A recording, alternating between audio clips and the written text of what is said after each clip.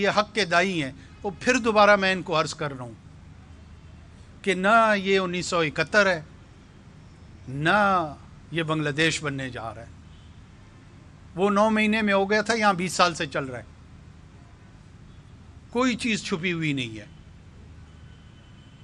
मुझे ताने ना दें कि बलोच मुझे याद रखेंगे। मैं और बलोचों के तीन तीन नस्लों से हमारा ताल्लुक है।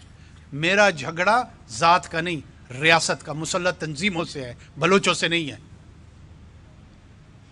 देना ये जवाब जितने चैंपियन बने फिरते हैं कि डॉक्टर शफी मैंगल को किसने कत्ल किया? वो बलोच नहीं था, हिंदू था, हिंदुस्तान से आया था।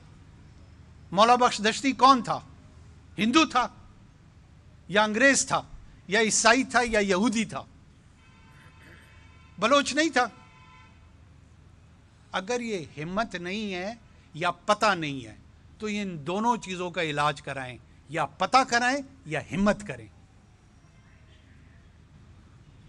ये ट्विटर पे बैठ के जो जंग लड़ने की कोशिश कर रहे हैं ना, जिस दिन मैं इस मनसब से हटूँगा, फिर इंशाल्लाह बहुत खुल के बात करेंगे।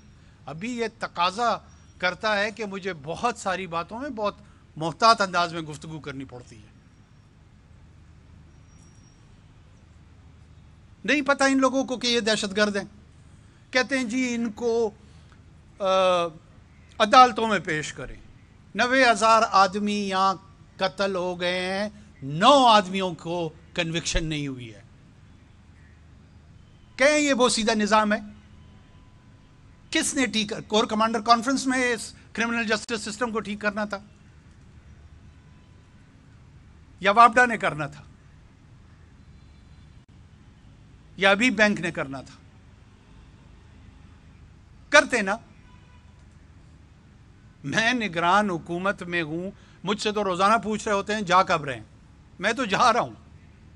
ये मेरा काम नहीं था कि इन कवानीन को दुरुस्त करके, उन टेररिस्ट को कवानीन इसलिए होते हैं कि उनको कैफर किरदार तक पहुँचाया जाए। इसलिए नहीं होते हैं कि उनको लाइसेंस दी जाए कि वहाँ से छूट जाए। तो नहीं पहुँचे हैं कैफर किरदार तक, नौ आदमी भी। बताएँ, कितने लोगों को सजा हुई है? मुझे ना ताने दे अदालतों वाले। और जिसने, जिसका ख्याल है कि खुदा ना खासा किसी को इन्फोर्स डिसअपियरेंस में शामिल हुआ है, जाए उसको भी खिलाफ अदालतों में चले जाए। रोका मैंने? हमें भी इन अदालतों पे अतमाद है, इनको भी अतमाद है। जाएँ। मैंने अगवा किया, मेरा नाम दे दे। अगर मेरे इंटीरियर मिनिस्टर ने किया है, अगर इंटीरियर सेक्रेटरी ने किया जाए दे, नाम दे। एफ़ आई आर जारी कराएँ। और क्या कर सकता हूँ? ढिटाई के साथ गुफ्तगु करने से मसाइल का हल नहीं होगा। क्रिमिनल जस्टिस सिस्टम ठीक नहीं है। अस्सी अस्सी नवे नवे कत्ल ये लोग करते हैं। हिंदुस्तान से पैसा लेके करते हैं। अलल ऐलान मैं कह रहा हूँ।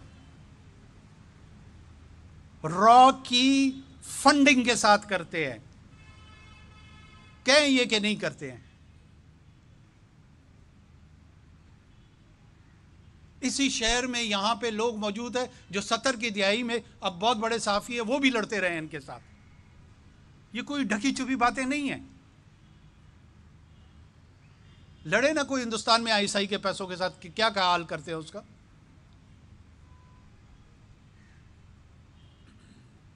एक माहौल क्रिएट कर देना कि जनाब बलूचिस्तान से वज़ीर अजम है और वो उनको नहीं सुन रहा और उसने डंडे मार दिए। इस तरह के वाटर कैनन फेंकने के वाकयात 200 से ज़्यादा यूरोप में दो साल के अंदर हुए। हैं आप लोगों ने नहीं देखे वो बड़े बड़े टैंकर उन्होंने बनाए होते हैं पानी फेंक रहे होते। हैं कोई एक एजुटेशन कर रहा होता है कोई और एजुटेशन कर रहा होता। है ये दुनिया में लॉ एनफोर्समेंट के स्टैंडर्ड प्रैक्टिसेस हैं। कहा हमने उनको कि जी हम उनसे बातचीत करने के लिए, हमसे मुराद हुकूमत उनसे बातचीत करने को तैयार है। देखे ना कि कौन से डिमांड्स दिए हैं। उनको दोहराना भी जो है ना, मुझे तकलीफ़ हो रही है कि मैं यहाँ पे दोहराऊं उनको। आप लोगों में से कभी किसी ने पूछा कि हमारे साथ बलूचिस्तान में जो मुसल्लत तंजीमें लोगों को कत्ल करती हैं, क्यों करती हैं? क्यों हमें नहीं पकड़ते? गले से कि उनके कातलों को पकड़ो। दो डंडे एहतजाज के गलत या ठीक वो लगे, उसका सवाल तो सारा पाकिस्तान मुझसे कर रहा है।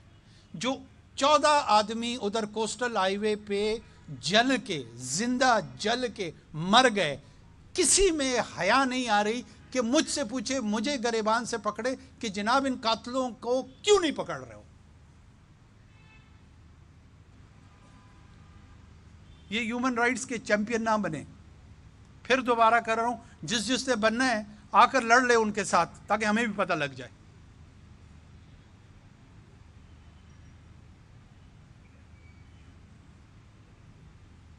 और बहरहाल, पाकिस्तान की रियासत की लड़ाई है, मेरी ज़ाती लड़ाई नहीं है। जिस जिसने इसके ख़िलाफ़ ऐलान किया है, उसी को ये सोचना होगा कि ये लड़ाई कब तक लड़नी है।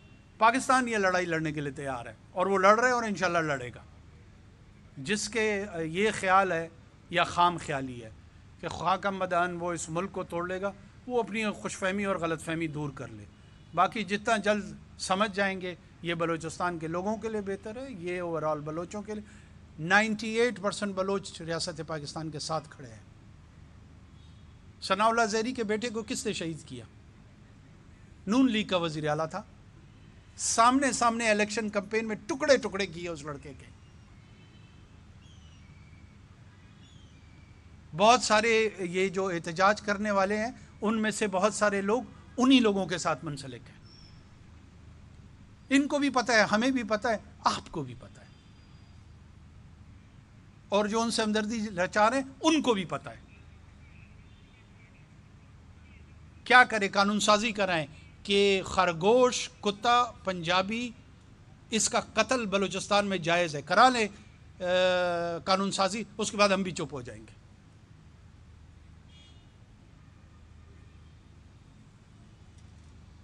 जिसको देखो, अपने आप को बहुत बड़ा हमदर्द समझता है। आप क्यों पहले बात को समझते क्यों नहीं है? कॉन्टेक्चुअलाइज क्यों इन्वेस्टिगेटिव जर्नलिज्म मेरा काम है। ये मैं सबको कह रहा हूँ सर उसको पैसे से फर्द नहीं कह रहा हूँ। ये कबीला है, मैं उस कबीले से मुखातिब हूँ इस वक्त।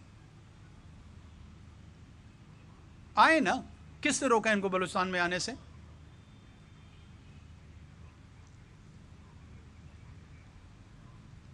पंजगूर कैंप पे ऑर्गेनाइज हमले हो रहे हैं, नोशकी कैंप में हो रहे हैं टीचरों को कत्ल कर रहे हैं लॉयर्स को कत्ल कर रहे हैं। किसी के मुँह से लफ्ज नहीं फूटता। वो जी बलूचिस्तान का वज़ीर आज़म है, डंडे मारे हैं। दो डंडों से आपको इतनी तकलीफ़ ही नहीं होना चाहिए था। ये जो चार हज़ार आदमी कत्ल हुए हैं इस पर लपकुशाई बनती है, नहीं बनती है? मुझे तो पूरे पाकिस्तान से गिला है, जिसको अभी तक बात ही नहीं समझ आ रही। मेरा उन लवाकिन से फिर कह रहा हूँ, नहीं है झगड़ा। मुझे ये जाली हमदर्द, झूठे हमदर्द, इनसे मेरा मसला है।